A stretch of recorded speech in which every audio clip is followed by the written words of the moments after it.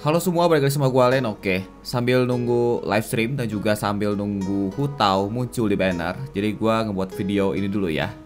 Tanya jawab dengan tim pengembang 2 Maret ya. Dan ini soal 1.4 dong. Jadi untuk versi 1.4 sudah ada pencerahan sedikit ya Dari developernya ya. Oke jadi langsung aja, tidak usah basa-basi. Untuk pertanyaan pertama, mungkin tidak ya, batas condensate resin naik menjadi 4 semasa aku hidup. Maksudnya, semasa aku hidup. Condensate resin kan sekarang 3 kan batas saya. Naikin 4 gak? Kayaknya nggak perlu, kayaknya nggak begitu penting deh ya. Di versi 1.4 jumlah maksimum condensate resin yang bisa kamu simpan akan bertambah. Kita akan mendiskusikan hal ini lebih detail di live stream preview 1.4 ya. Yang penting masih original resinnya kali ya. Tapi mungkin biar nggak kita bolak-balik aja kali ya. Kalau misalnya kondensat resinnya udah habis, terus juga original resin kita masih banyak, kita harus ke kota dulu kan, dan itu ribet. Jadi mungkin tujuannya biar nggak uh, biar nggak terlalu ribet aja, bolak-balik ya, antara domain dan juga kota atau lain-lain kota. Oke? Okay? Dan untuk pertanyaan kedua ya, aku membawa kondensat resin di tas. Tapi setiap kali aku masuk ke domain, aku selalu mendapatkan peringatan bahwa resinku tidak cukup. Nah ini dia, ini cukup annoying ya. Karena uh, kalau misalnya original resin kita di bawah 20 gitu, kita mau masuk domain ya, itu bakal ada peringatan, ya resin kita nggak cukup ya, padahal kita udah bawa 3 konsep resin kan. Oke, untuk jawabannya peringatan ini akan diperbarui di versi 1.4. Kalau kamu membawa kondensat resin saat masuk ke domain, kamu sudah tidak akan diberi peringatan bahwa resinmu tidak cukup ya. Oke, yap. Karena itu cukup annoying menurut gua pribadi juga. Dan kita sekarang ke pertanyaan ketiga. Berapa batas adventure yang tertinggi saat ini? Batas AR tertinggi di 1.3 kan 60. Di 1.4, Adventure Experience akan berlebih setelah mencapai Adventure Rank 60 akan diubah menjadi Mora. Oh, nggak dinaikin si level capnya ya. Jadi Mora, oke. Okay. Untuk perhitungannya gue nggak tahu detail seperti apa, tapi kalau misalnya experience-nya udah di atas maksimal, itu bakal dirubah menjadi Mora ya. Ya, lumayan lah ya. Oke, uh, pertanyaan keempat. Level duniaku meningkat karena aku terus menaikkan adventure rank. Dan sekarang aku menyes menyesalinya.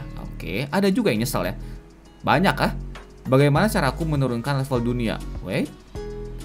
Untuk jawabannya kita sudah membuat solusinya. Oh, kita akan menjelaskan rencana ini kepada semua traveler di program ver spesial versi 1.4 ya.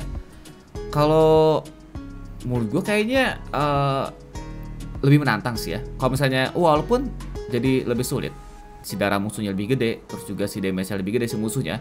Tapi Genshin Impact yang sekarang tuh udah termasuk mudah. Oke? Okay? Di luar event-event yang ada ya. Untuk dairy-nya itu benar-benar udah termasuk mudah Genshin Impact tuh. Kalau menurut gue pribadi ya.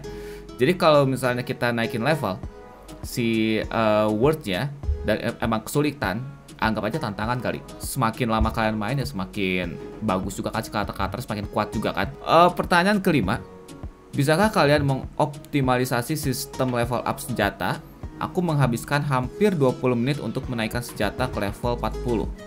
Emang cukup lama juga ya. Oke, jawabannya untuk memberikan pengalaman bermain yang lebih baik, kami akan terus mengoptimalkan sistem level up senjata di update versi mendatang. Seperti penambahan jumlah material yang bisa digunakan untuk level up. Oke, tapi emang cukup ngabisin waktu ya. Tapi nggak setiap hari juga kita nge-level up senjata kan. Gue banyak yang kontra di sini ya. Mau bukan kontra sih, kayaknya banyak hal yang harus lebih diperhatiin daripada kayak gini ya maksudnya kita nggak kita setiap hari tuh nggak naikin level senjata. Dan kalau misalnya kita naikin level senjata terus agak lama ya nikmatin aja kali ya. Terus pertanyaan keenam aku tidak bisa menggunakan parametric transformer di mode co-op. Sangat tidak praktis. Alright. Meningkatkan fungsi parametric transformer memang salah satu masukan terbanyak yang kami terima dari traveler. Kami juga terus menyesuaikan dan meningkatkan fiturnya Salah satu fitur yang ditingkatkan adalah traveler bisa menggunakan parametric transformer saat bermain dengan teman ya. Kami akan membuat parametric transformer menjadi lebih praktis di versi mendatang. Tolong beri kami lebih banyak waktu ya. Jadi parametric transformer tuh yang bisa dilakuin seminggu sekali itu ya.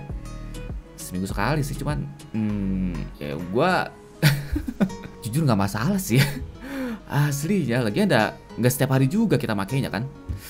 Oke, Untuk pertanyaan ketujuh, aku ingin menyimpan semua pesan ucapan ulang tahunku. Oke.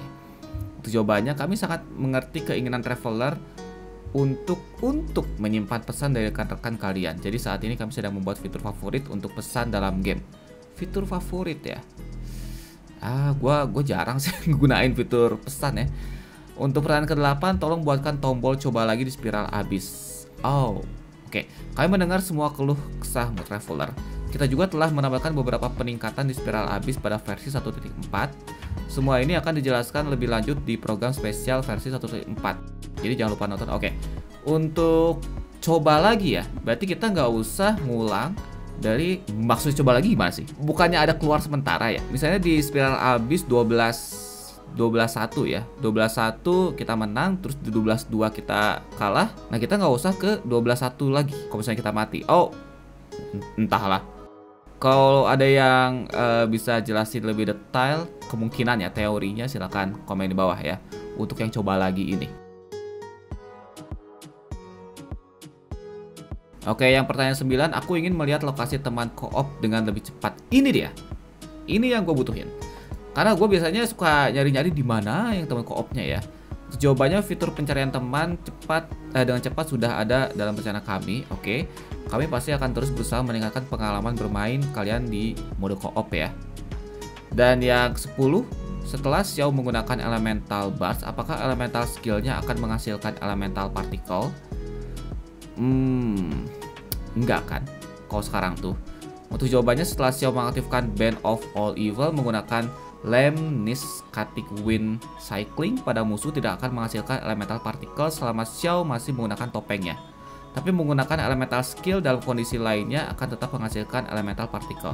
Kondisi ini mirip dengan Razor. Menggunakan elemental skill Cloud and Thunder tidak akan menghasilkan elemental particle jika elemental barsnya masih aktif. Ada perubahan ya. Cuman kalau misalnya elemental partikelnya tetap aktif mungkin terlalu OP ya dan tidak balance.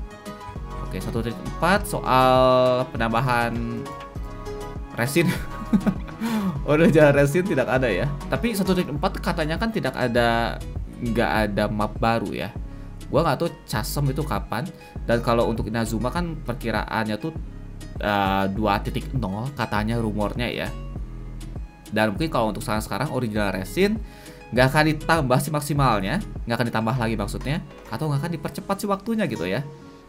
Uh, tapi ya semoga kalau misalnya ada penambahan map nanti mapnya semakin luas original racing juga semakin banyak ya.